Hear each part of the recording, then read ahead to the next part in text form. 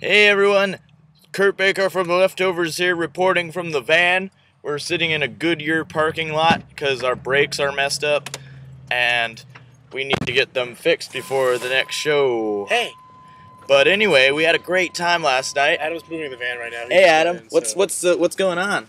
Hey guys, what do we have we're to at do? Goodyear. Oh, we just gotta get our brakes looked at, but that's okay. Do we have to pull into the garage right there? Not yet. We're gonna go across the street get an oil change because it's good for your car to get an oil change. Awesome. What did they say? We'd come back in a little bit. Yeah, half hour. We had to wait a half hour, but whatever. So we're having a great time. Last night we had a show in York, PA. We ate some great burritos at this place called Rob Burritos. And the show was at this place called The Depot.